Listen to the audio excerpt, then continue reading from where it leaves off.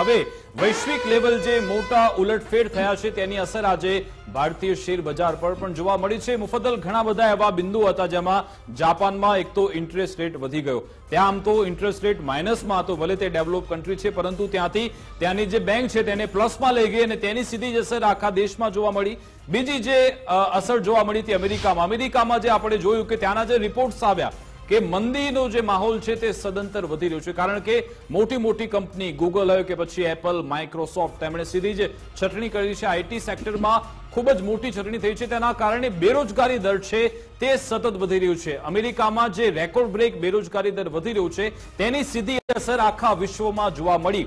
સાથે સાથે મુફદલ મિડલ ઇસ્ટમાં જે યુદ્ધનો માહોલ જામેલો છે હાનિયાનું જે મોત થઈ ગયું ત્યારબાદ ઈરાન હવે ઇઝરાયલ પર બદલો લેવા માટે આતુર છે. હિઝબુલ્લા વધારે એક્ટિવ થઈ રહ્યું છે. હમા સંગઠન છે તે પણ અત્યારે એક્ટિવ મોડમાં છે. તેની અસર પણ આજે જોવા મળી. ઘણા બધા પરિબળો ભેગા થઈ ગયા છે. ગઈકાલે એક બીજી પણ મોટી ઘટના બની કે જે વોરેન બફે છે દુનિયાના સૌથી મોટા ઇન્વેસ્ટમેન્ટ એક્સપર્ટ જે છે ઇન્ડસ્ટ્રીયાલિસ્ટ છે એમણે એમની જે હિસ્સેદારી હતી એપલમાં એમાંથી પચાસ ટકા હિસ્સેદારી એમણે વેચી નાખી. એને પણ ખૂબ મોટી રીતે જોવાઈ રહ્યું છે. ભલે ફેડ રિઝર્વે વ્યાજ દરમાં કોઈ ફેરફાર ન કર્યો પણ અમેરિકામાં મંદી આવી રહી છે.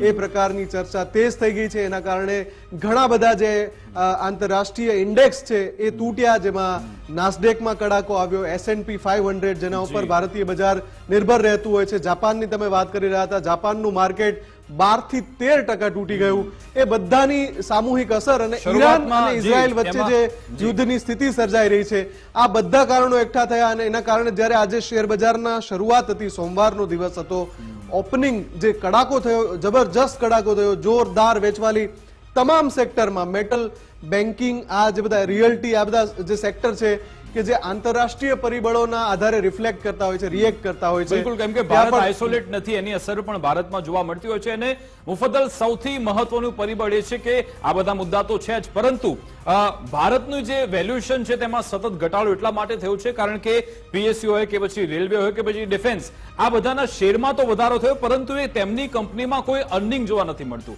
એક બાજુ શેર વધે છે બીજી બાજુ તેમની અર્નિંગ છે તે ઘટતી જાય છે. આ જે ડિફાઇન થતું નથી તેના કારણે પણ ભારતીય શેર બજારમાં આજે બાવીસો બાવીસ સેન્સેક્સ પોઈન્ટમાં ઘટાડો જોવા મળ્યો છે. જાપાનની મેં વાત કરી જેમાં મુફદલે કહ્યું શરૂઆતમાં વીસ ટકાનો ઘટાડો હતો પછી તે બારથી તેર ટકા ઘટાડો થઈ ગયો. યુરોપમાં દોઢ ટકા અમેરિકામાં ડાઉન જોન્સમાં બે ટકા ઘટાડો થયો હતો. તાઇવાનમાં એક સાથે આઠ ટકા ઘટાડો થયો. ભારતમાં બે ટકા ઘટાડો થયો. લાર્જ કેપ હોય કે પછી સ્મોલ કેપ મિડ કેપ તમામે તમામ માર્કેટમાં ભારતીય શેર બજારની રીતે જોવા જઈએ તો ભારતીય જે રોકાણકારો છે એમના સત્તર લાખ કરોડ રૂપિયાનું ધોવાણ એક જ દિવસમાં થઈ ગયું અને એની સીધી અસર ડાયમંડ માર્કેટ પર પણ જોવા મળી છે. સુરતની જે કિરણ જેમ્સ છે એણે દસ દિવસની રજા જાહેર કરી દીધી છે. એને પણ આની સાથે સાંકળીને જોવામાં આવી રહ્યું છે.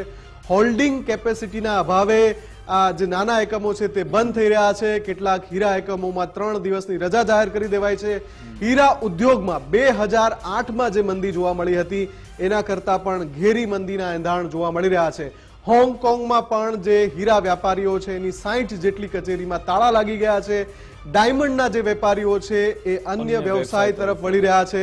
આ તમામ જે સ્થિતિ પેદા થઈ રહી છે એના કારણે ચિંતાનો માહોલ છે અને એ જ પ્રેશર ઊભું કરે છે જે સેક્ટોરલ ઇન્ડાઇસિસ છે એની ઉપર અને પછી જે ઇન્વેસ્ટર્સ છે મોટા પાયે જે ડાયરેક્ટ ઇન્વેસ્ટમેન્ટ થતું હોય અને જે ફોરેન ઇન્વેસ્ટ ડીઆઈઆઈ અને એફઆઈઆઈ થી આપણે ઓળખીએ છીએ એમાં મોટા પાયે વેચવાલીની સ્થિતિ ઊભી થઈ છે.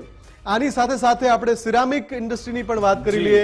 મોરબીનો સિરામિક ઉદ્યોગ પણ વૈશ્વિક પરિસ્થિતિઓની વચ્ચે ખૂબ જ પ્રેશરમાં જોવા મળી રહ્યો છે અને મોરબીમાં પણ ભારે હડકંપની સ્થિતિ એટલા માટે જોવા મળી છે કેમ કે રેડ ઝોનની અંદર છે. મોરબીમાં ભારતના નેવું ટકા સિરામિકનું ઉત્પાદન થાય છે અને એ બધાની વચ્ચે અત્યારે જે સ્થિતિ છે ઘણા બધા કારખાના સદંતર બંધ થઈ રહ્યા છે મોરબીમાં. આંકડો લગભગ બીજું એકસો પચાસથી બસો ડિમાન્ડ અને સપ્લાયની જે લાઈન છે આખી ખોરવાઈ ગઈ છે. કારણ કે સામે ડિમાન્ડ જ નથી ને બીજી એટલા માટે સપ્લાય ઓછો થઈ ગયો. આ ગોડાઉન એ ગોડાઉન અત્યારે ભરેલા છે. મોરબીનો સિરામિક ઉદ્યોગ હોય પછી જામનગરનો બ્રાસ ઉદ્યોગ હોય પછી સુરતનો ડાયમંડ ઉદ્યોગ અત્યારે તમામે તમામ ઉદ્યોગ પર મંદીના વાદળો ઘેરાયેલા છે અને અનેક જગ્યાએ કારખાનાઓ બંધ પણ છે.